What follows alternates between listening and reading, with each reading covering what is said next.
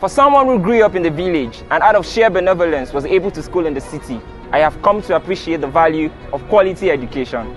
I quickly realized that as a Nigerian living in Nigeria, I had access to fewer opportunities and there was a need for me to broaden my horizons. So when NUTM came along with the promise to power and support the most ambitious African dreams, I knew this had to be for me and I have not been disappointed in any way. As a scholar, one of the things I like about NUTM is the cultivation of a shift in mindset to have a structured approach to thinking critically and solving problems. Every day we get to see examples of real problems being solved through out of the box thinking.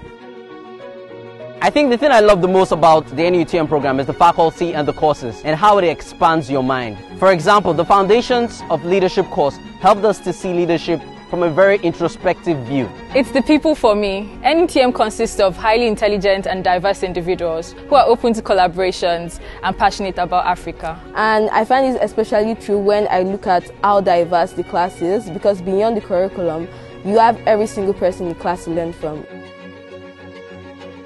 I mean, the campus environment is great. It feels like I'm living in a service department. You know, 24 7 electricity, 24 7 internet access. I have a spacious room, something I originally wouldn't be able to afford.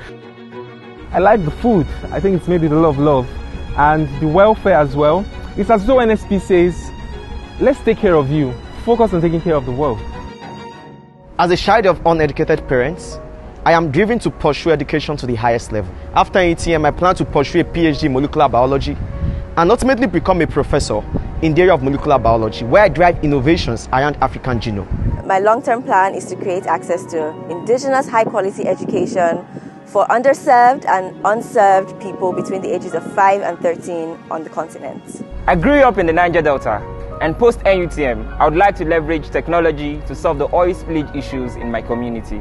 And in the long term, I hope to bring all of these experiences together to be able to really create the transformational impact I want on the African continent.